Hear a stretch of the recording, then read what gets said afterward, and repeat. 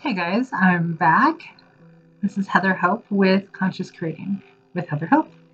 Okay, so I'm on another camera. This is actually um, this was actually my um, podcast setup, my my real stuff. So I'm still not even in my YouTube studio yet. Isn't that crazy?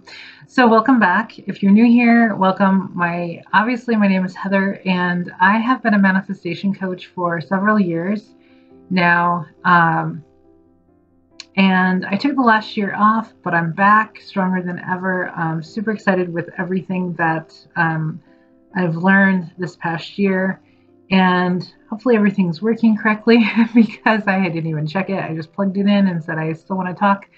Um, so in today's video, I really want to just take a moment. We're going to do a short video today.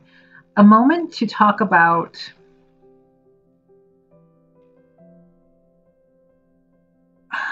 how do you talk about money? How do you think about money? because I want to remind people that you really have to clean up how you talk and think about money. So I was reading a comment in one of the groups and somebody's saying like, well, what do you do when people talk about money and whatever? Well, I, I you know, I have some friends in my life that, well, people who know me know, or people who know me, but don't really know everything that I do. Um, friends of mine who are kind of don't really know the ins and outs of my my my work life. Um, they've seen me not work a job in many years, and they see me living a pretty good life, and they're wondering, wait a minute, like how do you like they don't really know. They know I have like several businesses, they just can't put it together but I I come across as somebody who quite possibly possibly I may have some money.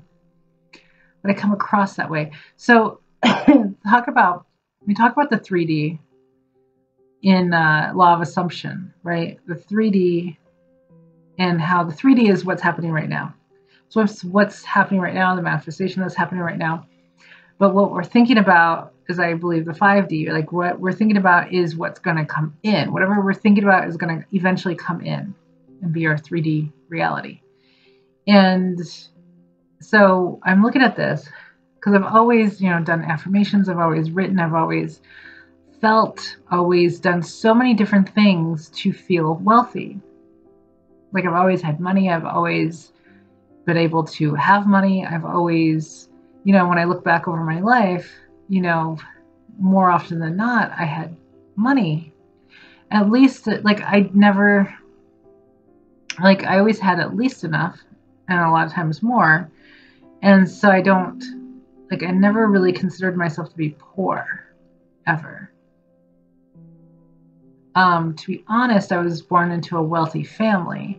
So I love using that as part of my affirmations of like, I was born into a wealthy family. I am part of a wealthy family um, that sort of thing. But um, I grew up middle class. I grew up, you know, all that stuff.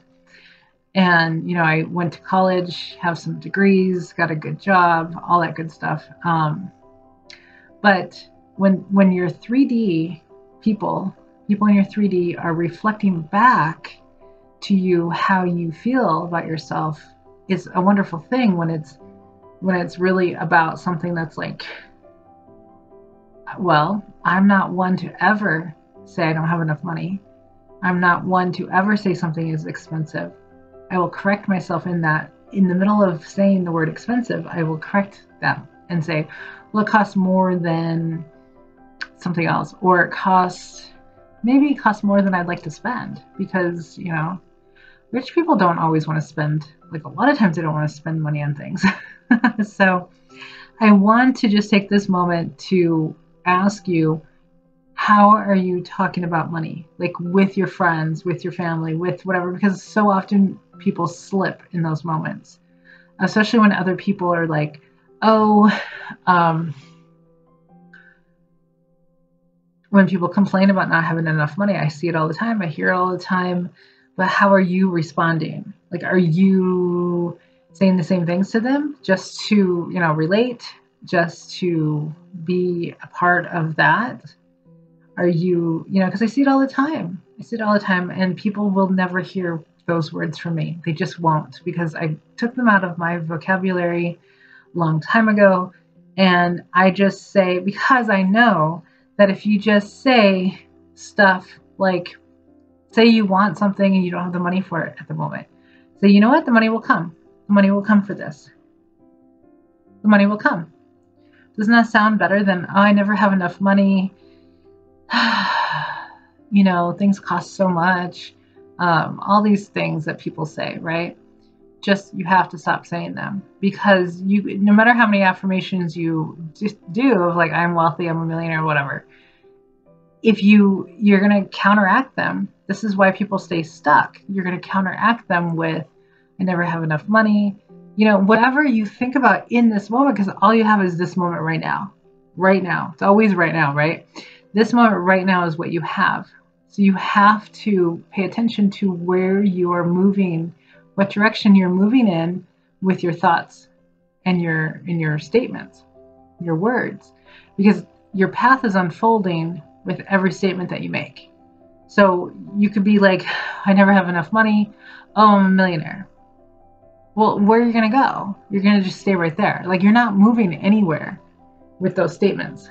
Or you move one direction that you don't want to be in and then you move the other direction and then you just like you're zigzagging on your path and you're not going to get there very fast. So if you stop the negative thinking about money and just focus on I always have more than enough, I'm a millionaire, whatever the affirmations are for you that you that you like.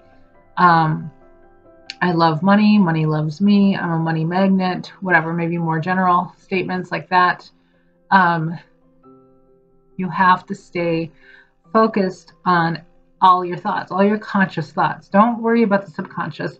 Don't worry about anything else. You you are in charge of your conscious mind. You. So that means the the the statements that you think and the statements that you say are 100% up to you.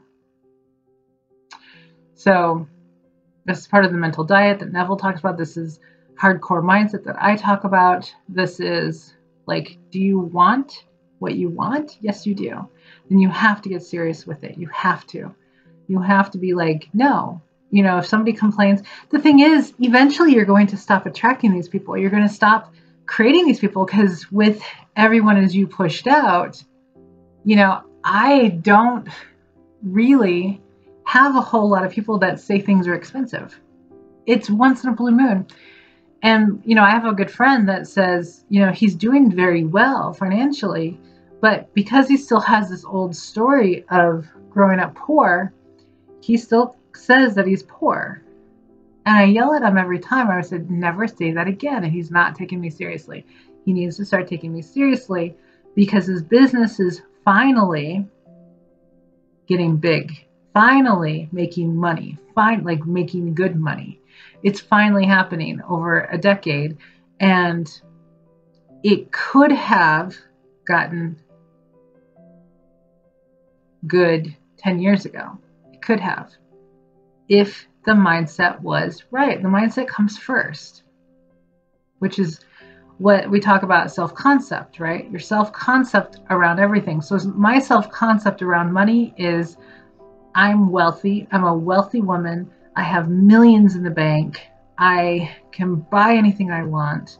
I drive amazing cars. I have multiple homes in multiple states. Um, I have two jets. I have like I have this whole storyline going on in my head that I've had for a while now around money. I have a self concept around love.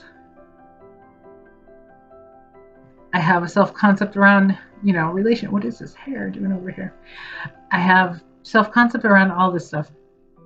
But my self concept around money is, at the very least, it's getting better. Things are getting better. I'm making more each month, that sort of thing. Affirmations that I specifically say, one of my businesses, because um, I, I have an advertising business that's local, that it sold out this month It's sold out. All my advertising space sold out this month.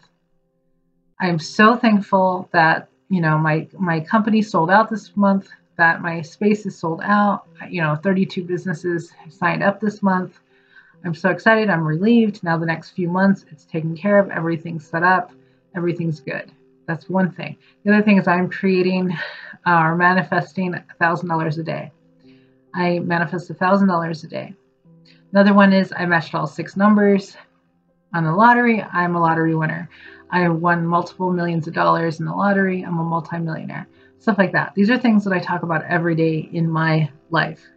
So, nothing about, oh my God, I don't have any money. Oh my God, blah, blah, blah. Because I've gotten to the point where there's always money. There's always money somewhere coming in from somewhere. I've had to get that going over the months or years. Anyway, just wanted to remind you have a good self concept around money check for those thoughts that are not serving you. Every single one of them matters. Every single thought matters of the unfolding of your life. Okay, guys, if you want coaching, the links are down below. I'm doing email coaching. My VIP group is opening soon. And um, hopefully doing a seven day challenge very, very soon. I'll let you know. Talk to you very soon. Bye.